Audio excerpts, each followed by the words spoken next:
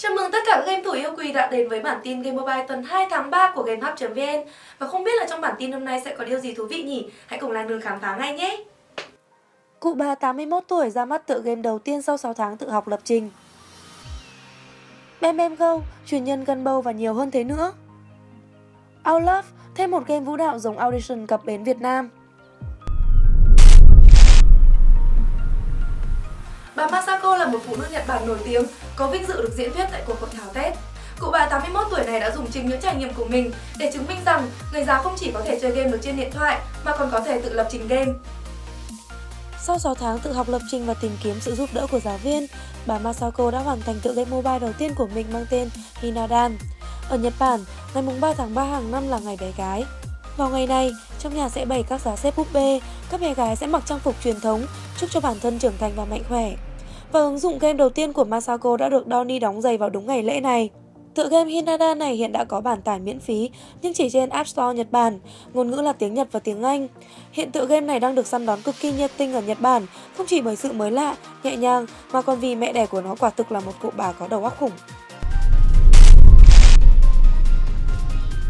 Mấy ngày qua, cộng đồng lục địa huyền bí đã được một phen rúng động trước vụ xích mích giữa hai công hội top 23 của S1 là FF và USD.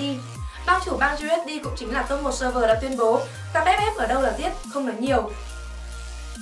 Cuộc thanh trừng này thu hút được sự chú ý của cả cộng đồng lục địa huyền bí. Ở trong server thì là top 3 công hội mạnh nhất, ở lên server cũng là đại diện cho bộ mặt và sức mạnh tuyệt đối của S1. Bởi vậy, nên nhất cử nhất động của ba bên đều ảnh hưởng đến rất nhiều người.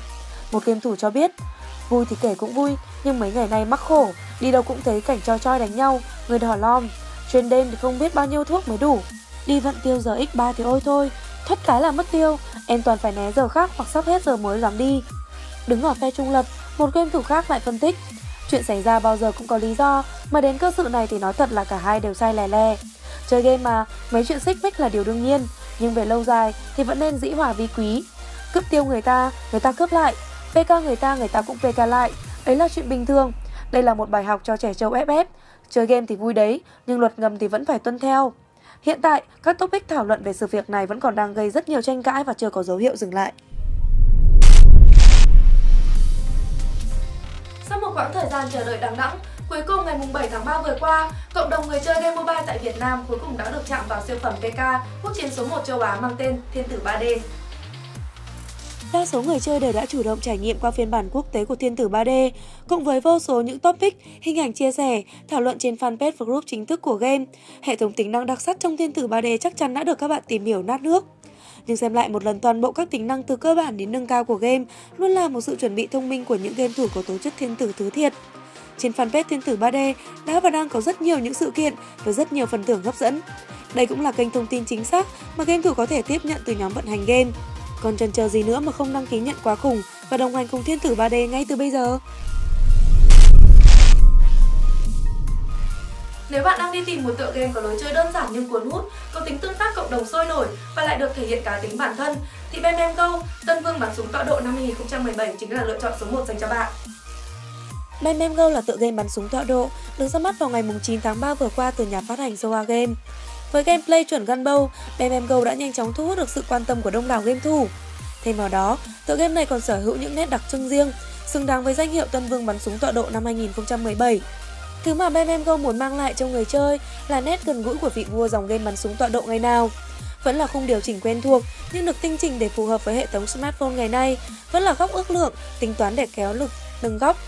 Quả thật, ấn tượng đầu tiên về BMM Go chính là chuẩn bị được thể hiện tiếp rồi. Ở BMM Go có hai đặc điểm đặc sắc mà không thể không nhắc tới, đó là hệ thống xếp hạng và tiến hóa súng. Với lối chơi truyền thống và những cách tân sáng tạo, BMM Go đã được mong đợi sẽ trở thành sân chơi mới không thể bỏ lỡ của cộng đồng game thủ. Theo nguồn tin riêng chúng tôi mới nhận được là Game Việt trong thời gian tới sẽ đón chào thêm một thành viên mới mang tên Outlove. Được biết, tự game đã hoàn tất quá trình Việt hóa và sẽ được PTC Mobile phát hành trong thời gian tới. Outlaw có tên gốc là Tâm Động Kình Vũ Đoàn. Đây là một game mobile 3D thuộc thể loại âm nhạc vũ đạo, được phát triển bởi công ty Imomo Game. Trò chơi là sản phẩm tiếp nhận bản quyền từ dòng game Client Audition nổi tiếng và cực kỳ thu hút giới trẻ, đảm bảo giữ nguyên phong cách thiết kế hình ảnh lẫn gameplay năm xưa. Đồng thời, lại đưa vào những nguyên tố mới để phù hợp với nền tảng di động trong thời đại mới, giúp người chơi có thể trải nghiệm ở mọi nơi, kết bạn tứ phương. Trên phương diện các nội dung gameplay khác, Outlast có đủ tính năng xã hội đậm chất cây sùa vui vẻ, một hệ thống chat thú vị với đủ biểu tượng cảm xúc đáng yêu. Bên cạnh đó, người chơi có thể thành lập vũ đoàn của riêng mình, quản lý thành viên, thực hiện nhiệm vụ đặc biệt và mua bán ở cửa hàng của riêng vũ đoàn. Còn bây giờ, hãy cùng tải game về và trải nghiệm chất ao quen thuộc nào. Vậy là Lan Hương đã vừa mang đến những thông tin nóng hổi nhất về các tựa game mới sắp được ra mắt. Hãy tiếp tục đón xem các bản tin tiếp theo để cập nhật thêm nhiều thông tin về các tựa game mới hơn nữa nhé. Xin chào và hẹn gặp lại!